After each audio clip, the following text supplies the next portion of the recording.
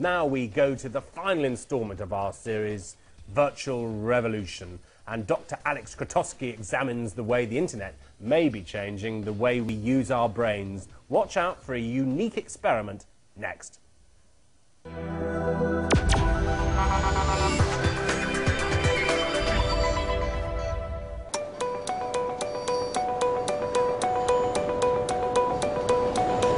It's been 20 years since the World Wide Web was created, and every aspect of our lives has been touched by this digital revolution.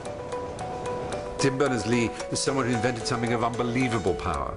I think the web as humanity connected. Human civilization as a whole is now witnessing the connection of people everywhere on Earth through this web.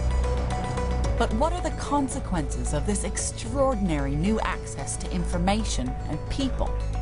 Caught up in the instant connections of the web, few of us pause to wonder what it's doing to us.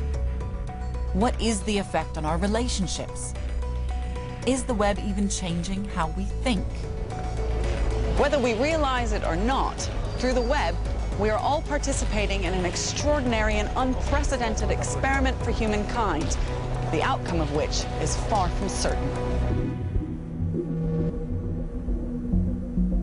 The great fear is that this revolution is making our senses and imagination dependent on screens, shifting us from the real world to the virtual. It's a world that has no consequences. It's a world dominated by senses. So why do you need cognition? Why do you need meaning? Why do you need metaphor? Is it going to bring us a different, better life, or is it going to bring us a different style of communication?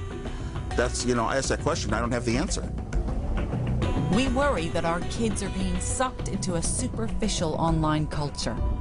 Are they, for better or for worse, evolving from Homo sapiens into some sort of Homo interneticus?